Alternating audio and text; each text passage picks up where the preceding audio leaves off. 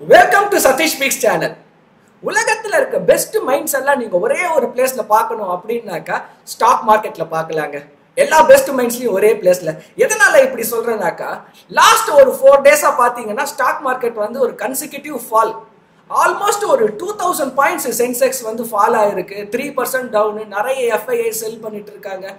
நிறைய investors வெல்த்தை loose பண்ணியிருக்காங்க அப்படி இருக்கும்போது கூட ஒரு பத்து ஸ்டாக் பார்த்தீங்கன்னாக்கா குவாலிட்டி குட் ஸ்டாக்ஸ் மேலே போயிட்டே இருக்கு. டுவெண்ட்டி டு ஃபார்ட்டி பர்சன்ட் வரைக்கும் ரிட்டர்ன்ஸை கொடுத்து இருக்காது.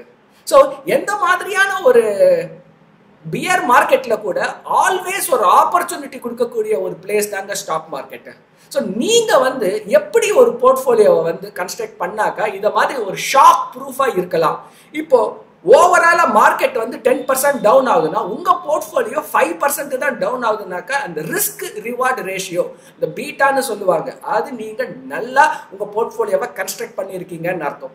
ஸோ மார்க்கெட் வந்து டென் பர்சன்ட் போகுது பட் உங்கள் portfolio twenty percent thirty percent down போகுதுனாக்கா உங்கள் போர்ட்ஃபோலியோ டெஃபினட்டாக ஒரு ஹை குவாலிட்டி போர்ட்ஃபோலியோ இல்லை. ஸோ இந்த வீடியோவில் வந்து எந்த மூணு ஸ்டாக் இந்த மார்க்கெட் வந்து த்ரீ பர்சன்ட் டவுனில் இருக்கும்போது கூட மேலே போன ஸ்டாக்ஸ் அண்ட் நீங்கள் எப்படி ஒரு போர்ட்ஃபோலியோவை கன்ஸ்ட்ரக்ட் பண்ணலாம் பண்ணாக்கா உங்களோட போர்ட்ஃபோலியோ இப்படி ஷாக் அப்சர்விங் ஷாக் ப்ரூஃபா இருக்குன்றதை இந்த வீடியோவில் பகிர்ந்துக்க போகிறேன் and Satish financial consultant and author of this book call untold well secrets and நாணயம் விகடனில் வந்து மிடில் கிளாஸ் டு மில்லியனர் அப்படின்ற ஒரு தொடரை எழுதிட்டு வர இது வரைக்கும் ஒம்பது தொடர் வந்திருக்கு.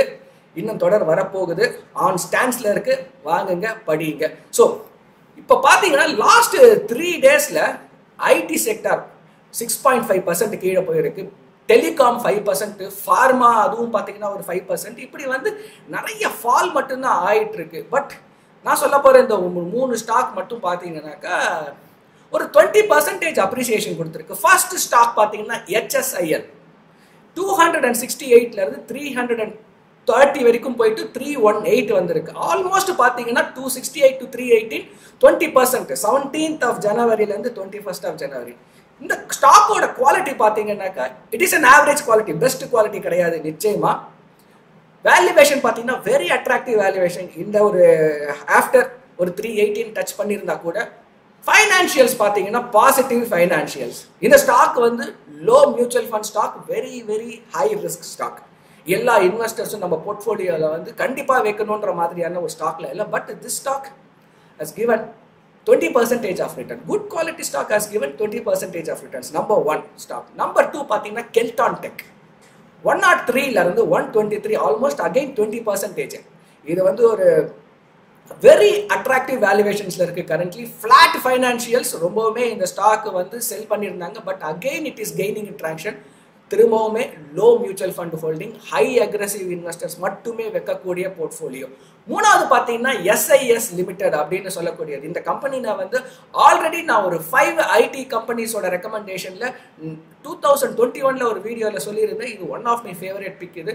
ஃபோர் சிக்ஸ்டி த்ரீ இருந்துச்சு seventeenth of December five seventeen போய் டுவெல் பர்சன்டேஜ் ஆஃப் ரிட்டர்ன்ஸ் கொடுத்துருக்கு.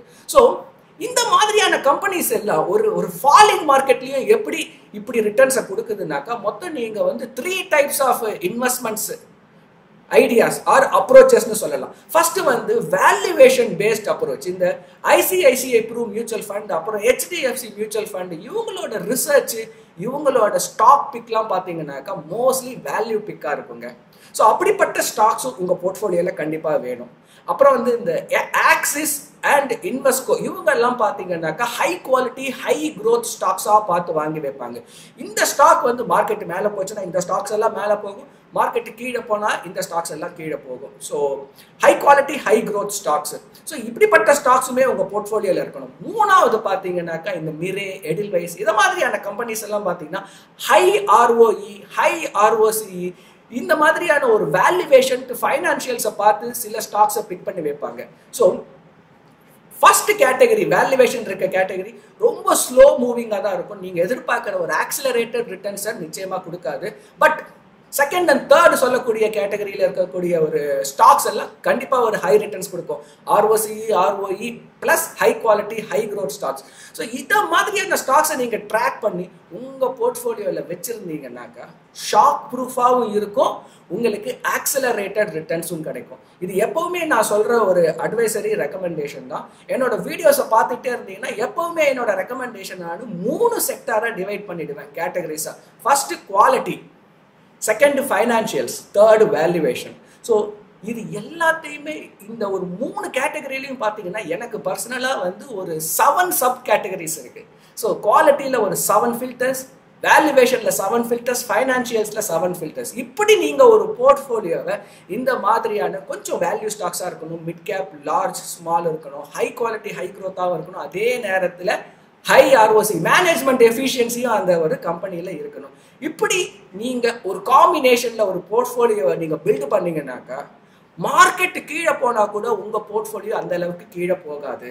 இப்படி ஒரு போர்ட்ஃபோலியோ உங்களுக்கு கிரியேட் பண்ணணும்னாக்கா என்னோட வாட்ஸ்அப் நம்பர் டிஸ்கிரிப்ஷனில் இருக்குது you can connect with me I will help you in building a portfolio and இந்த கண்டென்ட் உங்களுக்கு பிடிச்சிருந்ததுனாக்கா please click the like button right now ஏன்னா இந்த வீடியோ இன்னும் நிறைய பேர் போய் சேரத்துக்கான ஒரு பாசிபிலிட்டி இருக்குது please hit the like button and இந்த ஃப்ரீ வாட்ஸ்அப் குரூப்பில் சேரணும்னா லிங்க் இருக்குது please do join and Angel ப்ரோக்கிங்கோட ஒரு ஃப்ரீ டிமேட் ஓப்பன் பண்ணணும்னா அதோட லிங்க்குமே இந்த டிஸ்கிரிப்ஷனில் இருக்குது free demat best brokerage across the country so stay tuned to this channel இன்னொரு ஒரு வீடியோவில் இன்னொரு ஒரு இன்ஃபர்மேஷனோட உங்களை மீட் பண்ணுறேன் சி யூ பை பை